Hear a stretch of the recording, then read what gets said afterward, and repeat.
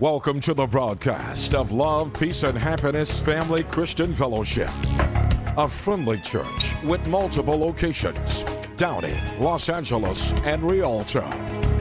Now, let's join Bishop Leon Martin for a powerful message.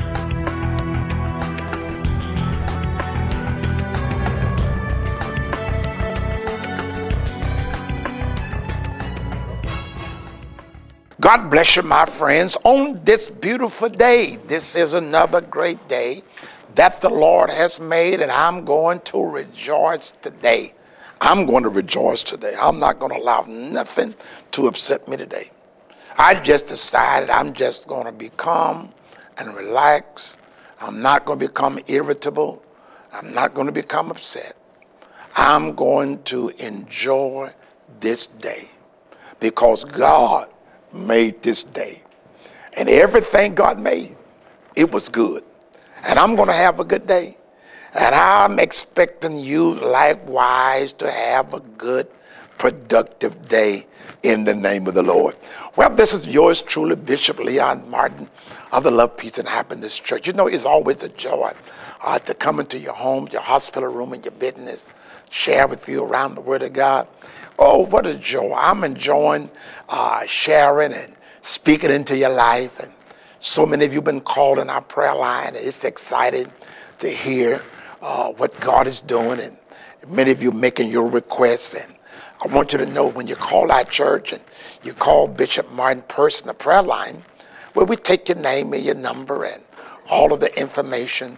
And we begin to pray. And one of my staff is going to personally call you back and uh, speak into your life and pray with you. You are so valuable to us, and we thank you for being a part uh, of our ministry, and some of you becoming uh, faithful uh, listeners and faithful uh, viewers of our telecasts. And uh, we're excited. So we have some exciting things happening. I love Peace and Happiness Church because every Sunday is an exciting day. And every third Sunday, uh, is Family Day. All this past third Sunday, uh, I prayed for hundreds of children and, and young people, and the altar was just filled with people as they came forward. And Bishop had the opportunity to pray uh, for your children and your grandchildren. Uh, what a blessing. I, I said something. Uh, our children is our precious gift from God. And we, we recognize that, my children. Uh, God blessed me to have three lovely children. I have two sons, one daughter, and all of my children are involved in ministry and preaching the gospel of Jesus Christ. What a blessing. What a blessing. I want to pray for your children every third Sunday. Bring them, and bishops are going to lay hands on us. Some of them is being controlled uh, by a spirit of rebellion. And uh, you know that the hand of God is on their lives. They've been called of God but sometimes they be, have become distracted uh, by peer pressure. So we are standing in agreement with you concerning your family. And for the last several uh, telecasts I've been sharing with you that I'm praying for you that 2016, this year, is going to be a great year. I want you to believe that. Uh, I said uh, last time, forget about your past, forget about last year. I want you to focus in on this year. You can't go back in 2015. I want you to look forward to what God's going to do for you this year. Paul says, forgetting those things which are behind, but rather I am pressing forward to those things which are before. Your future is ahead of you. Uh, your life is going to get better. Uh, your, your, your future is looking bright. You have to stand on this word and you have to confess the word daily. You have to pray daily and you have to meditate daily.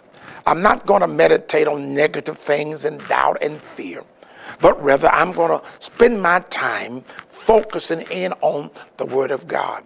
Do you realize the Bible says eyes haven't seen and ears haven't even heard, neither has it entered into the hearts of men the great and wonderful things that He has in store for them that love Him. If you love God, oh my friends, your, your life is going to get better. You're going to be amazed what God is going to do.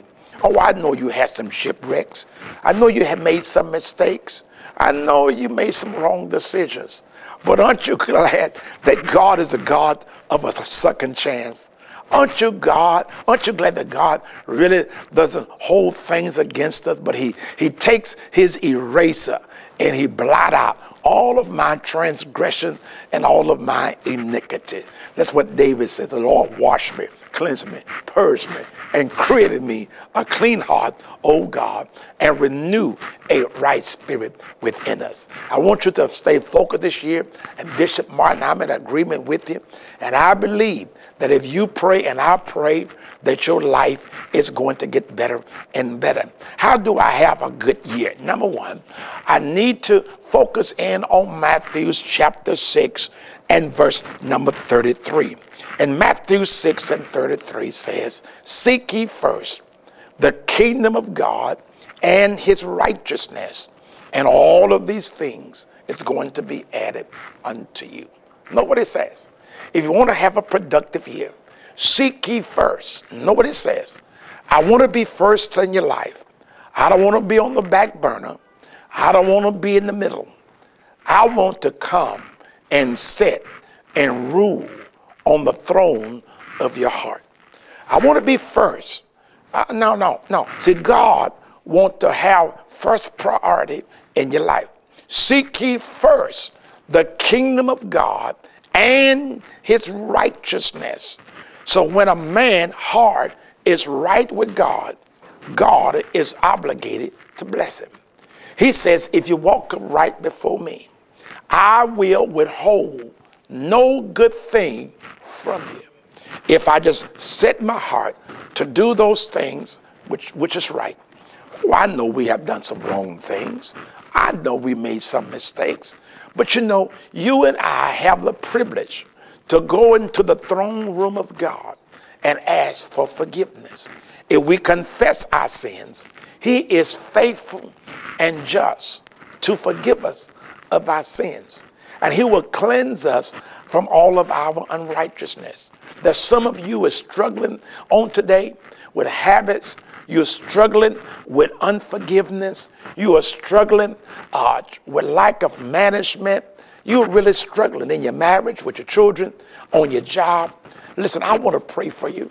That some of you right now just need God to help you to overcome those situations and challenges in your life. And if you have walked away from God, you say, Pastor, I know God. I once was connected to the church. I used to be pastor in the choir. I was on the usher board.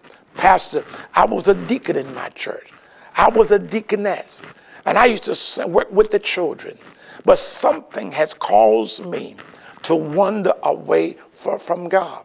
I'm even talking to a minister and a preacher and a pastor that once had a relationship with God, but you have allowed things to distract you from your calling. Are you listening to me? So God sent me to remind you that his hands is yet upon your life. Know what it says in the book of First John. If we confess our sins, he is faithful and just to forgive us of our sins. And look what he says, and he will cleanse us from all of our unrighteousness. He, whatever you have done, my friends, he would take your sins and he throws them in a sea called the sea of forgetfulness. And God says, I remember them no more. That's the kind of God we serve. Now I want to pray for you. And if you tuned into this telecast today, say, Yes, Pastor, I want to rededicate my life back to God. Pastor, I want to renew my fellowship with Him. I have lost my joy. I don't have peace like I used to have. And I have wandered away far from God. I have a habit. Seems like I can't break it. I'm bound. And I need the grace of God. I want to pray for you. I want you to bow your heads and I want you to stretch your hand toward this telecast right now. And Father, I pray for every person that is tuned into this telecast that says, Yes, I'm ready for change. I'm confessing I'm struggling. I'm confessing I've done some things wrong. I'm confessing that I'm challenged. God, forgive me. Repeat these words after me. Say, Lord Jesus, forgive me of all of my sins. And I'm sorry for the wrong things I said and the wrong things I've done. Come into my life, save me, cleanse me, wash me, and make me whole. And I receive Jesus Christ into my life as my Lord and as my Savior. Thank you, Lord, for giving me another chance. Now, listen, if you prayed that prayer from the depths of your heart, every sin and every wrong deed you have ever committed has been erased. Now you have a brand new lease on life. What I want to do, and I'm going to do something very special just for you. I want you to go to the telephone and I want you to call and dial Bishop Martin personal prayer line number. That's right. This is my personal prayer line number. And that number is 1 800 757 6552. 1 800 757 6552. When you call that number, if you can leave Bishop Martin your name, your address, your email address, your tel- telephone number, and your zip code, and you say, Bishop, I just rededicated my life back to God. I have some free literature that I want to send you to help you with your walk with God. It's not about church membership, it's about relationship. And I want you to have a relationship with God. Oh, my friends, I said on the broadcast on yesterday, God did not design you to be a failure. He did not design you to be a flop in this life because everything God made, it was good. And you have to understand that inside of you is a potential and an ability that you know not of. Oh, my friends, when your life is in the hand of God, those gifts is going to be stirred up. And those talents and ability, like Paul wrote to Timothy, Timothy, stir up the gift that is lying within you. And some of you have gift you know you're supposed to be involved. You know the hand of God is upon your life. You say, How you know, Pastor? Because every time you do something wrong, you get in trouble. Am I right about it? And you know the hand of God is on your life because many has been called, but few has been chosen. And I'm speaking to a chosen one on today. So you go to the telephone, and Bishop Martin is going to pray with you. My staff is going to call you, and I'm going to send you that information in the mail that's going to be a tremendous blessing to you.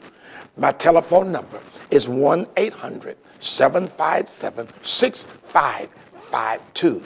Because once you get connected to God and something happened, Nicodemus wanted to know, Master, how can I enter into the kingdom of God? Jesus told Nicodemus, You must be born again, not of flesh and blood, but of the Spirit of God. In the book of First Thessalonians, book of First Thessalonians, it talks about in chapter 5, verse 23, that man is a tripart being. He is spirit, soul, and body. He is spirit, soul, and body. Man is a spirit that possesses a soul and he lives in a body. The most important part of man is the spiritual component. And when that spirit is connected to God, then what happens? Then I can hear the voice of God. Do you realize that God speaks to us through our spirit? He says, uh, as many that are led by the Spirit of God, they are the sons of God. And he that have an ear, oh yes, he that has an ear, let him hear what the Spirit is saying. Do you realize the Holy Spirit is able to lead you through life journey? It's the Holy Spirit that tugs on your heart. It's the Holy Spirit that keeps you from having shipwrecks in your life. So you want to be led by the Spirit of God. Now that my spirit man has been born again, now I need to work on my mind and my body. Since I have three components, my spirit is, is in line with the word. Oh, but what about my body? Oh, thank you for asking. I got to bring this body in line with the word of God. Paul said, mortify the deeds of the flesh. I cannot allow my flesh to go contrary to the word of God. Sometimes you got to tell your body you can't have that. You got to tell your body you can't go there. You have to tell your body, uh-uh, no sir. I'm gonna make sure that my body line up with my spirit. Are you listening to me? What about my mind? That's that soulish realm. My mind, my will, my intellect, my imagination. That's the soulish realm. And Paul made it very plain in the book of Romans. He said, Be not conformed to this world, but rather be ye transformed by the renewing of your mind. I need to make sure that my body is in line with the Word of God and my spirit is in line with the Word and my soulish realm uh-huh, is in line with the Word of God. Uh-huh. You really have to constantly deal with the mind. And you don't be giving people uh, a piece of your mind. Oh, no, I'm going to give you a piece of my mind. No, honey, you better try to keep all your mind because peace of mind nowadays is hard to find. So you don't give nobody no piece of your mind. You keep all your mind. You set your mind on things of Christ. You want to make sure your mind is thinking on things that is pure, things that is just, things that is holy, things of a good report. I want to make sure that I keep my mind stayed on Him. If you keep your mind stayed on Him, He will keep you in perfect peace. What happens is we have a tendency to let our mind wander in other folks' business, what other folks is doing. You trying to handle your in-laws' business. You trying to tell no, just keep your mind focused in on God and you will keep the perfect peace. I just keep my mind. I don't worry about what other folks are doing. I want to make sure. I want to keep my mind on the Word of God. I want to keep my ears in tune to what God is saying. Now, listen to me. I want to talk to you very carefully. Is because some of you have to train your ears to hear the voice of God. Sometimes the Spirit comes in a still, small voice. He don't come in a loud, boisterous voice. Sometimes he comes in a still, small voice. But he said this, my sheep knows my voice, and a stranger they will not follow. You can't listen to everybody's voice. Oh, I have to listen to the Spirit of God. Oh, my friends, when God speaks to me, Oh, I want to say yes to the voice of God. You have to train your children to recognize your voice. Sometimes you got to pick them up, and sometimes you have to shake them a little bit, and sometimes you got to sit there and discipline your child. Did you hear, mom? Did you hear what I said? Are you listening to me? Or why are you ignoring me? What are you doing? You are training your child to recognize your voice. I tell every parent when you tell your child no, no means no. When you tell your child to sit, that means to sit. What are you doing? You are training your child to recognize your voice. A few years ago, I got a call that the mother was standing at the corner and she told her son to stop, stop. And he ran right into the street and got hit by a car because the mother did not train her child to recognize her voice. So sometimes we don't understand why God is telling us to stop. Don't do that because He's trying to prevent us from having danger and pitfalls uh-huh, and struggles in our lives. So when you hear the voice of God, recognize it and obey the voice of God. If you be willing and obedient, you're going to eat the good. Oh, I'm talking to somebody. If you be willing and you be obedient, you're going to eat the good of the land. See, God did not design you to be a failure. He says, Paul said, thanks be unto God, which always, which always causes me to triumph in him. Always. God will always cause me to triumph in him. I'm supposed to live a life of victory. And Paul said, Thanks be unto God, which giveth us the victory through our Lord and Savior Jesus Christ. So every once in a while, honey, you ought to lift your hands up like you're making a V and say, I have the victim. Matter of fact, let us just practice it right now. Oh, I'm talking to you. I know you've been going through. I know your back is against the wall. I know folk lying on you, folk talking about you. But listen, you have the victory. Come on, lift that hand, make your V, and declare, I have the victory. Oh, I know you feel so much better. Say it one more time. I have the victory. If you can say that daily, regardless what you're going through, regardless what the pains you're going through, I want you to begin to see your body being healed. I want you to see your family being restored. I want you to see your finances coming in line with the word of God. I want you to see your ministry flourishing because that's how God designed you. Now, listen to me. Oh, I, am believing God. Listen, I'm so excited. I just feel my cup just bubbling over today. You know what I want you to do? I want you to partner with Bishop Martin. I really want you to become a partner in this ministry. And so many of you have been writing me and calling me how you enjoying this ministry. I want you to partner with me. And I'm believing in God to give me 300 partners on this week. That's right. I'm believing God on this week to give me 300 partners. That was the yes, Bishop Martin. I will plant a financial gift and a seed uh, into this ministry. Uh, and I'm excited because I believe that God is speaking to you. And when God speaks to you, you're going to hear his voice. There's some of you say, here is $20, here is 30, here is a 100 or even a thousand dollars. I just want to partner with you, Bishop. I know that you're doing a great work because you're reaching the unchurched, the untaught, and you're reaching the uncommitted. And I want to I want to partner with you. I want the same anointing that's upon your ministry to fall upon my life and upon my business. Now listen to me. There is no gift that is too large or too small. I want you to obey the voice of God. I want to give a mailing address and you can sit down write me. When you write me, tuck in those seven things that you believe in God for this year. And I'm going to pray. And if you desire a special prayer cloth, request that with your letter and your gift. I got a special prayer cloth that I want to send to you.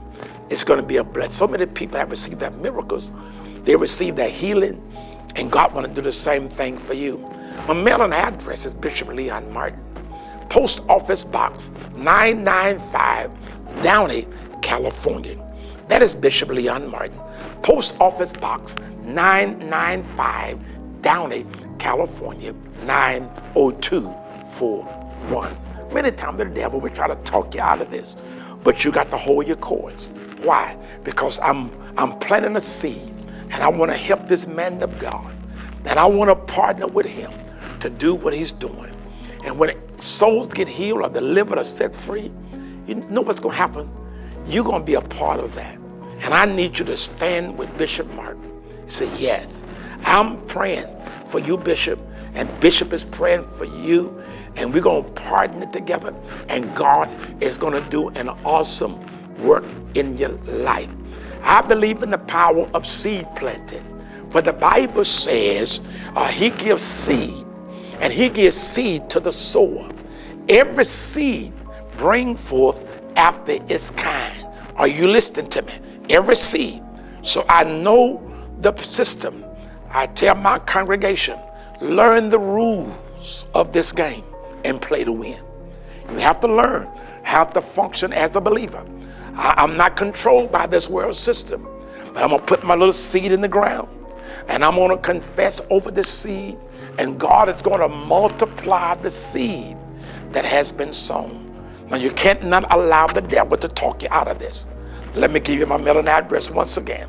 That is Bishop Leon Martin, Post Office Box 995, Downey, California 90241.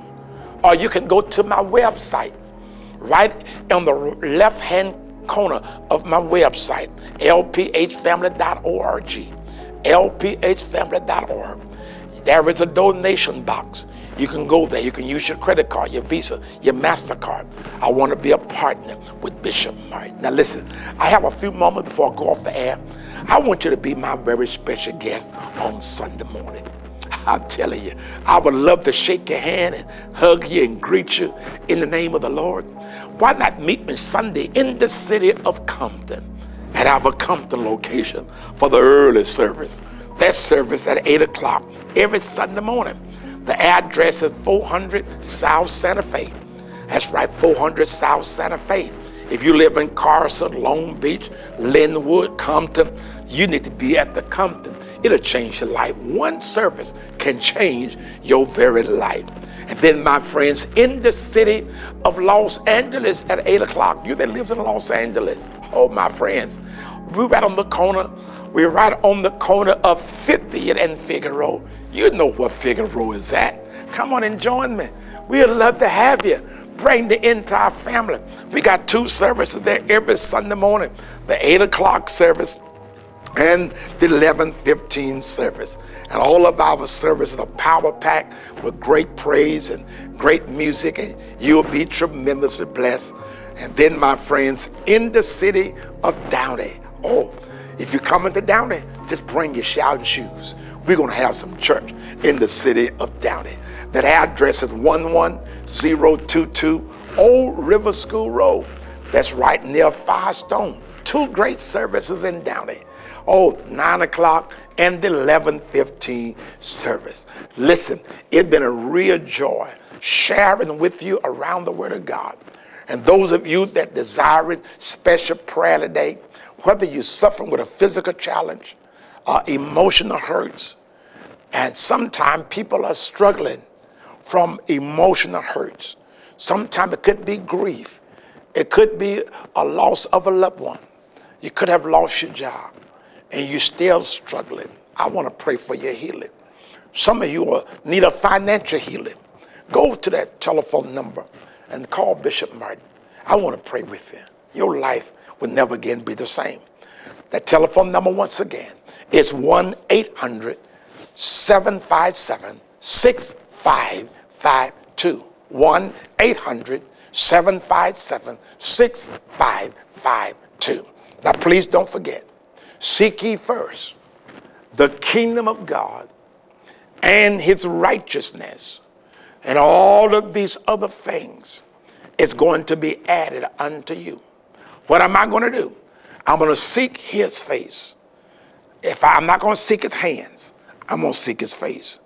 If I seek his face, God will extend his hand. Listen, friends, I'm out of time. Well, this is yours truly, Bishop Leon Martin, letting you know, hey, your life is getting better and better and better. I love you with the love of the Lord. I'll meet you at the gathering. Have a blessed, wonderful day. You've just heard an uplifting message from Bishop Leon Martin, pastor of Love, Peace, and Happiness Family Christian Fellowship, one church with multiple locations. We invite you to visit our Downey location at 11022 Old River School Road near Firestone Boulevard.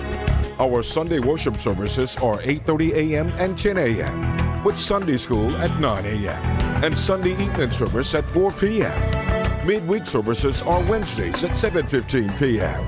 You can also worship with us at our new Los Angeles location, located 4951 South Figueroa Street, 49th and Figueroa. Our Sunday worship services are 11:15 a.m. with Sunday school at 9:30 a.m. Midweek services are Thursdays at 7 p.m.